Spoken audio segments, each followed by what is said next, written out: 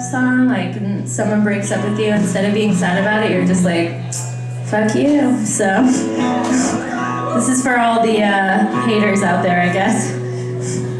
Lovers too.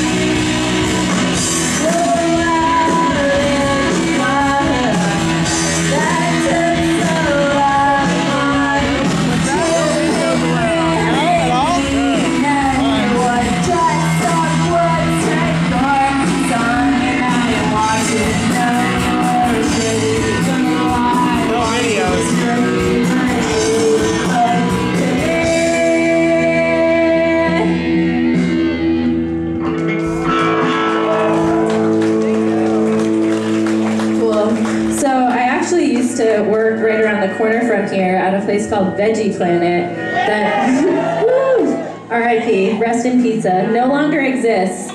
But um, it was a it was a good place for me, and I hung out with a lot of friends there and had some times. And this song is about working a weeknight and then going to Charlie's Kitchen and uh, getting wasted.